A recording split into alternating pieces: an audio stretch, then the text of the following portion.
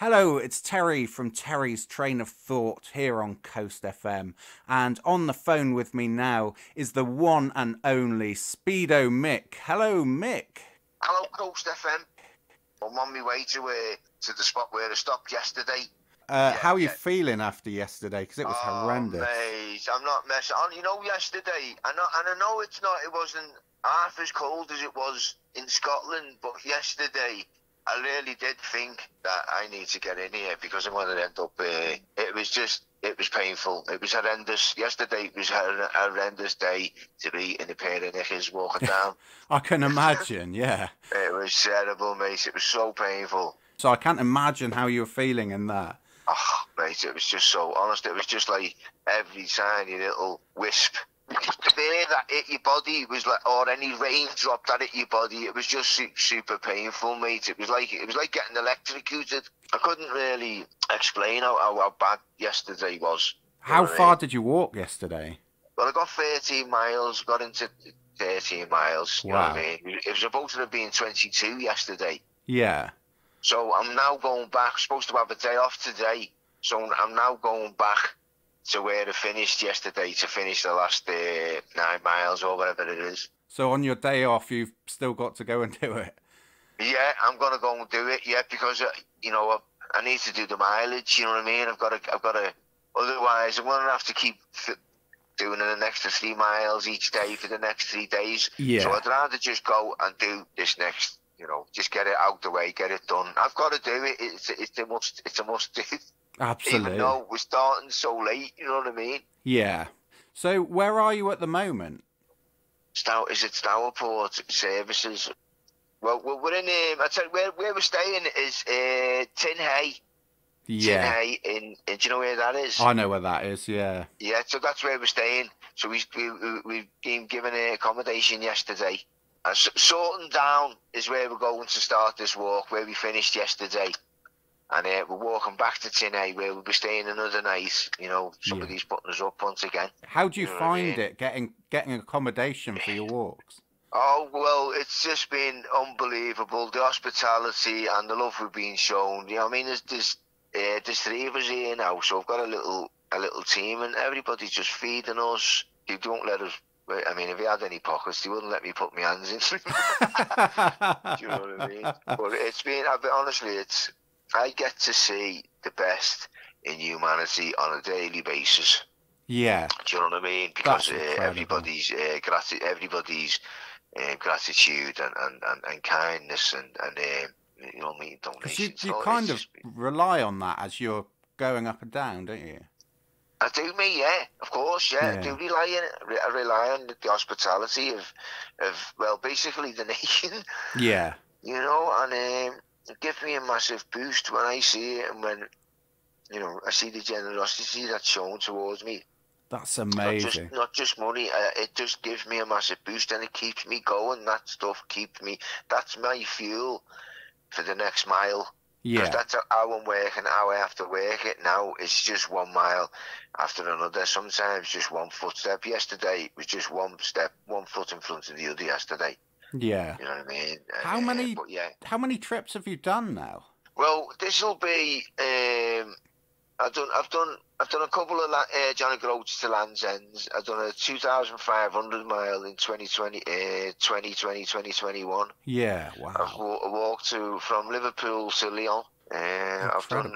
I've done a few. Um, a few trips from London to to Liverpool, and then Liverpool to London. You know, um, uh, one from London to Bournemouth. And uh, I don't think I think that's about it. And and I swam the English Channel, of course. Yeah. That is amazing. yeah, I'm I'm, I'm I'm feeling a bit like a veteran, a veteran walking at the moment. You know what I mean? Do you think this is it then? Because I heard it was your last tour. yeah, no, I, I I- I've literally yesterday is is uh, that that's how I do my walks. I always do them in the winter, so uh, it, you know Right. it takes a hell of a lot out of my body. Oh yeah. know, and uh, so you know I don't want to, you know I don't want to kill myself. I don't want to damage myself, and and I think I might have, besides from that as well, you know, looking after myself. I think I might have just about done enough to, uh, you know, to to do a little bit to You've certainly done more than than most people will do walking. That's yeah, for sure. Yeah, most definitely. Well, it'll be six when I get to the end of here. You know, God willing, like I'll, uh, it'll be six thousand miles. I'll have walked all in with all the other ones. So I, I'll have beat uh, Beefy Botham. You know Yeah. what I mean? I'll have beat him there. I don't think he's. I don't think he's walked that many. I'm going to check that out in a minute, but I don't think he has. If he has, I might have to con- continue to. I'll have to start walking back. when did you first pull on the speedos? Oh, that was in 2016. Right. That was my first challenge. Was that was the um, was the channel? It was the channel swimming. You have to wear a pair Ah, of okay. speedos, which I didn't know. Yeah. Do you know what I mean? And I was like, I'm no way. I'm not wearing a pair of speedos. No chance. I'll you know I'll get ridiculed. Yeah. I over myself, you know, and um, and then I just went to Everton's football ground celebrating the fact that I had swum the English Channel, which was a miracle in itself. I'd never had a swimming lesson before wow. I uh, before I booked the boat. You know, I'm all in, Terry. I'm all in, mate. When I, when I say I'm going to do it, mate. You know I Yeah. mean, I'll just I put everything into it. You know what I mean? Every uh, That's fantastic because. Yeah. I kind of I heard of your your walking tours and you've Yeah. become a bit of a national legend for it. Yeah, yeah. Well, you So know, all started really with a like- swim.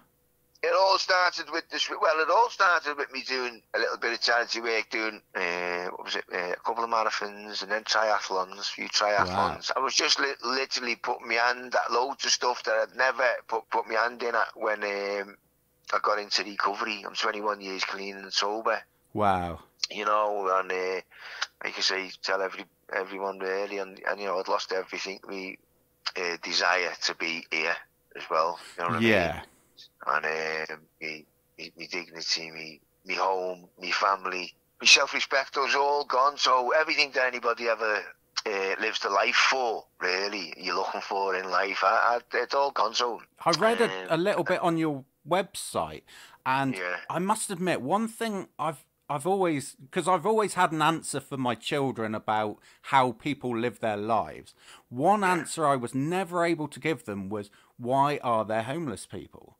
So it's incredible to see your story and i think the quote that really got me was that you made a couple of decisions that you do, would you say you regret those decisions or were they just right for you at the time Um, well, you know what? You could go into a literally three hours of dialogue about that stuff. You know what I mean? But Yeah. see, the thing is, I, I don't believe. I mean, I would never wish any that, that whatever. Um, I'd never wish what happened to me or what I put my own self through on my worst enemy. I really wouldn't. It was a terribly dark place. It was, um, you know, but I didn't really know why I was doing it. But I do now. I've got a. I've got a. You know, I've got a. You know, we've got an understanding of why I was turning it in on myself. I was, you know, I was making myself suffer yeah basically.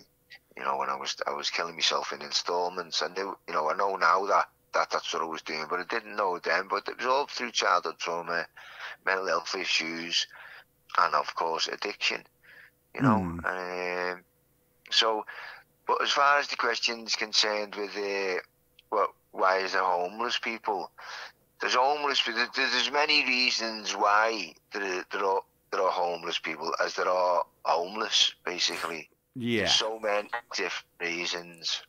You know, there's a lot of people who you wouldn't. You just, I mean, they've lived a, a, a, an amazing life, you know, and then they've lost the wife, they've lost, they've gone through a divorce, or other husbands, they've gone through a divorce, or they've lost them, you know, they've they've they've died, and they've just broken down, and they've given up on themselves, you know. yeah And uh, there's all kinds. So it's not just drugs and alcohol. There's there's so many reasons why people are out there. Like so many. and for your story was was there a turning point or was it something that you gradually moved towards No, I think they could. I think um, I I could have got the support I needed a long time before it did. You know, but of course, when I say that, you've got to be ready as well. And there's not a there's not many times when a window of opportunity opens, especially for an addict, to um, to get to the support that they need. Because you're waiting months, Yeah. you know, uh, on end now, or for mental health. You met you waiting months, but I got my support um, straight away. Right. So um, you know, it wasn't off uh, you know the national health. It was just off a friend who'd been through what I'd been through. So Wow. it was it was just peer peer support. Things people weren't in place. People there was no support when when there was a, a turning point. So I was asking for help, but the, either the people who I was asking di- didn't know what to do about it or didn't have the solutions to my problems. But on this day, on this one day, I was just sitting. I was uh, just sitting, sitting around basically, and someone came. Oh, um, to I think it was the hostel I was in.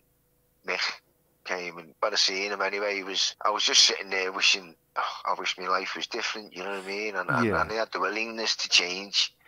And at that on, on that day, and it doesn't last very long anyway. Someone knocked on the door. It was an old friend who used to be um, doing the same things and looked really well. He was two years clean and sober.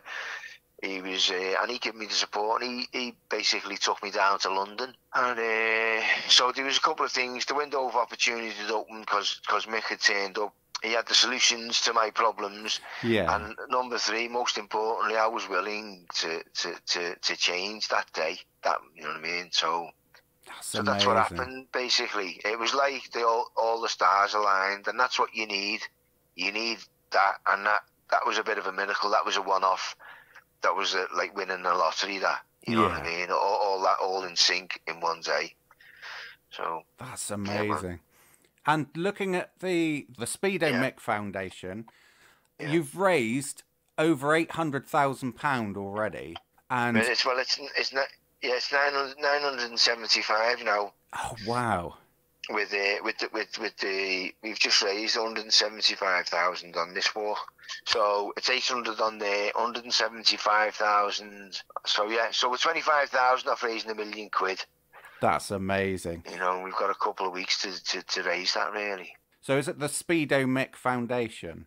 Yeah, yeah, yeah. But if you give if you give the GoFundMe page a shout out Yeah, as well, that'd be great. Do you know what I mean? absolutely. Yeah, Because otherwise, it, it'll just going to go onto the it'll go onto the foundation, and it won't get registered onto the GoFundMe, and people won't be able to. It won't go up to the million. Then it's not getting counted that way. You see? okay. So you know what? what I Do you know the GoFundMe page? yeah. It, well, it's uh, Speedo Mick's last stump. Because I'd love to get you over a million. That would be amazing. When do you get to Cornwall? Uh, the 29th. Well, I'll be in Cornwall uh, tomorrow. Right. I think I'll be we crossing over into the. Well, I'll be finishing on the 29th of April. So we've got a couple of weeks to get you over that final hurdle. Yes, man. Yeah, yeah, yeah. It's a big ask, you know what I mean? There's a lot of. You see, this is what's unbelievable, really, about uh, about this country and the people in it. Is uh, the generosity knows no bounds. You know, there's a there's a cost of living crisis. And There's Yeah. a big cost of living crisis. There's an energy crisis, and yeah, people are digging deep in the, you know what I mean, into the pockets for me and for you know for the foundation to help the most vulnerable in this, you know, in this country. Like, so it's it's unbelievable. It really is. It's fantastic. It's an amazing, it's an amazing thing to see. It's an incredible cause as Yeah. well. Yeah. How do you Yeah. find the people of Cornwall? Are we as nice as we like to portray? Yes, man, you're to me. Brilliant. you're to me, but I know Cornwall. I lived in Cornwall when I was um, when I was 17. Oh, okay. Yeah, I lived in Newquay. You know what I mean? And then I lived in, I lived, and then I went back down there trying to find myself for a long time after that as well. I, I kept looking for myself in Newquay and uh, St. Austell and all that, you know what I mean? And uh, I was already inside me, you know what I mean? Yeah. I was, but I was running around looking, you know, I was me really. Yeah. Anyway. Yeah, so I, I, it was great though. I love Cornwall. I loved people in Cornwall, but they, they can they can they can be very they can be very pi- picky. They can be a bit big. They can be a bit picky because I wasn't sure on the first dump. I thought, you know, I wonder whether they'll accept me. You know what I mean? yeah.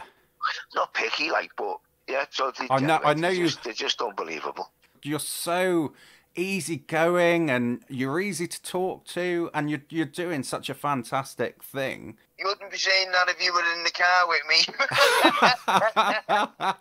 I imagine yesterday was a bit well, of a. Well, yesterday it was, it was, it was, and, and, and I, have got to, I've got to tell you, I got a little bit testy yesterday. I got a little bit, uh, I got a little bit angry. Do you know what I mean? Because I was literally freezing, and we'll get it, you know, we'll get that on the walks. You know what I mean? People don't see me. I'm just human. Yeah. Just human, mate. You know what I mean? I'm not. I'm, I'm certainly I'm not a, I'm not a hero or a saint or or uh, or anything like that. You know what I mean? I'm just uh, I'm an average man just trying to do some a few little extraordinary things. That's all. I think it is extraordinary what you're doing, and the fact that you're you're going back on your day off to complete what you couldn't yesterday. I mean, I yeah, was man. in all day yesterday. I, I couldn't face going out, and there you were in a pair of speedos. Yeah, man. Taking it all in. Well, it's not raining today, mate. It's bleeding boiling out there. So, listen, we're just trying to give a little bit back. That's all. The world's on fire at the moment. We're just trying to make a positive difference in it. That's that's all we're doing. Can you can you give can you give me team a little shout out as well? We've got Paul and we've got Dave. Yeah, hundred percent. Paul and Dave. Yeah, Paul and Dave. Yeah, the dream team. Fantastic. Yeah, the dream. Yeah, the dream team. Yeah, they don't. You, they haven't even given me the second names. I think they've got one of those. three amigos. The three amigos we're calling ourselves. Thanks for speaking to us, though, mate. Oh, thanks, man. Much appreciated, mate. Thank you for getting the story out there and, and the awareness. I really appreciate it. You know, we're doing it for mental health as well, by the way. So it's a, it's a massive issue, especially after the pandemic. I think that all comes in into the cost of living crisis as well, doesn't it? That's yeah, it's just going to make yeah. things worse. So yeah, man. Yeah, really appreciate what you're doing. Have a great walk. Thanks, man. Bye bye. So you can check out Mick's final stomp GoFundMe page if you Google Speedo Mick's final stomp. That will come up, and you can support him on his bid to raise that last two hundred thousand pounds and then Speedo Mick will have made a million pound for charity. An incredible guy with an incredible story. Thanks so much for talking to us.